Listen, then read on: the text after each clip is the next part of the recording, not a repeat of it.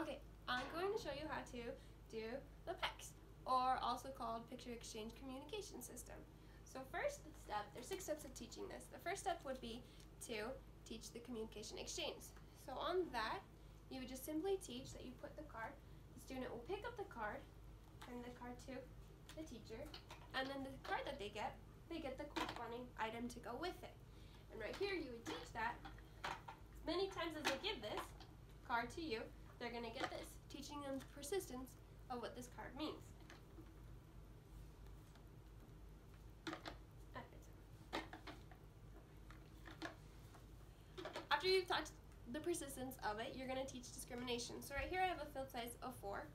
So we have the TV, crayons, the truck, and Legos. And on here he'll learn that whatever card he gets, that's what he's going to get.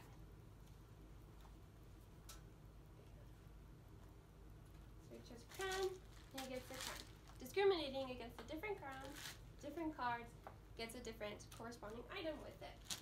After you've taught the discrimination on there, you'll be able to teach sentences like I want. So the student will be able to tell you what they want. So here he told me that he wants the Legos, so then he will get the Legos for a little bit. And on here I'm going to take them. Alright. And then after we've got that mastered down, then we can ask things like, what do you want? And the client will be able to respond by providing a card. And then he will get the TV. And that is the picture exchange communication system. Okay, so I just demonstrated PECS, um, and this is a communication system that is best used for individuals who have limited verbal abilities or are nonverbal. It's most commonly used with those with autism spectrum disorder, but it can also be used with other populations, such as those with pervasive developmental disorder, not otherwise specified, Rett syndrome, and childhood disintegrative disorder.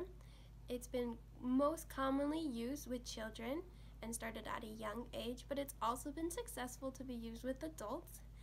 And it's mostly used with those whose expressive language is limited and they lack a functional communication system.